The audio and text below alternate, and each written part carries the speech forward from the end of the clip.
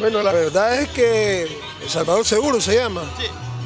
Yo considero de que está bien montado, pues hay bastante vigilancia y yo, pues, no creo que pase ahorita nada fuera de lo común.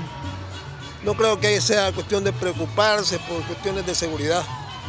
Ahorita la policía está bien establecida, no hay problema con eso.